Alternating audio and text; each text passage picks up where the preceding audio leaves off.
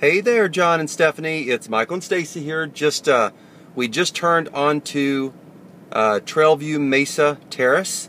Um, we are now about to pull up. You can see the house directly in front of us. Uh, this is uh, 2913 Trailview Mesa Terrace, and uh, matter of fact, we already went through this property earlier today. Uh, but we asked the owners if we could come back and take some video of it, and they they were very, very happy for us to do that for you too. So, um, anyways, it's just really a beautiful home, and I would say uh, definitely more uh, friend. Uh, Stacey, how would you how would you?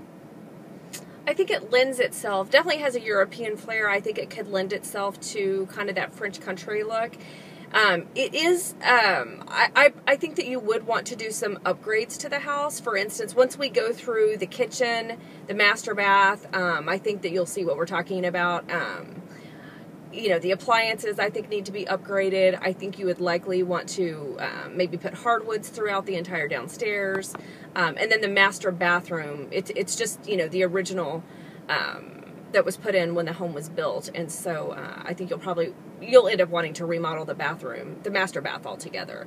Um, but the kitchen, uh, it's just got a beautiful floor plan and um, just has some real potential. We think you guys could could possibly make this one work. So. This could very much be another um, inside. I mean, it already has some great components to it, but could very much be a great another uh, pescadero.